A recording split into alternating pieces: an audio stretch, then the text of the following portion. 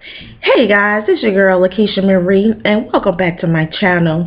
How's everybody doing on this beautiful day? So I wanted to put a video up showing you guys how I did a braid out on my um, straightened natural hair.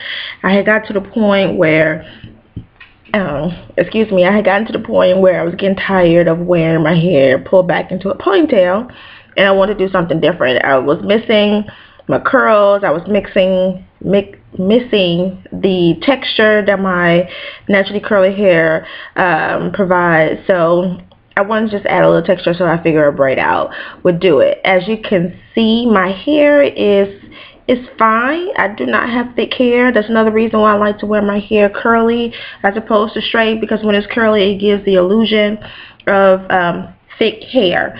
And I'm going to use the Alikay Natural Shea Yogurt. I absolutely positively love this on my wet hair.